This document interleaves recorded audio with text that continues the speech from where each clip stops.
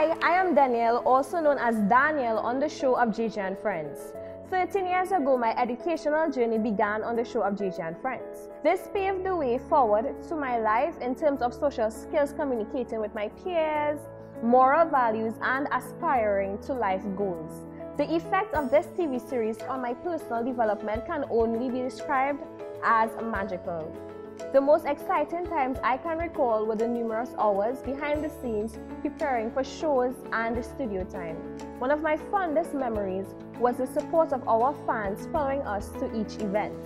My career goal is to become a radio announcer. My overall experience at JJ and Friends has taught me to have an appreciation for all people, all color, all skin types, regardless creed or race. I love and respect everyone equally.